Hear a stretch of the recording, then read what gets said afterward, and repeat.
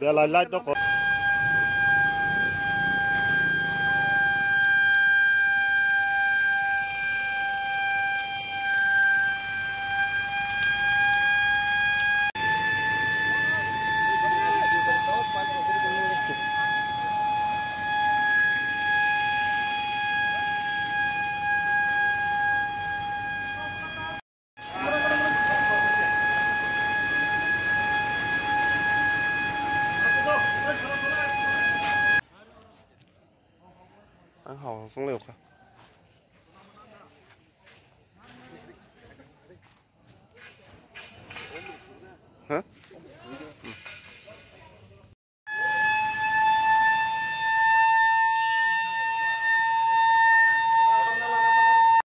সন্ধ্যা সাড়ে সাতটা নাগাদ একটা হঠাৎ করে খুমলুমের যে মোটর সিন্ডিকেটটা আছে ওখানে কয়েকটা বাইক রাখা ছিল হঠাৎ করে আট দশ জনের একটা দুষ্কৃতী দল এসে ওটার মধ্যে কয়েকটা বাইক ভাঙচুর করেছে।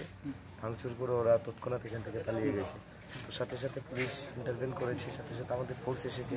আসার পর আমরা এখন দেখছি রেগুলার কী করা যায় এটা এখন ইনভেস্টিগেশন চলছে। স্যার কয়টা বাইক ভাঙচুর হয়েছে? এখানে প্রায় তিনটা বাইকের মতো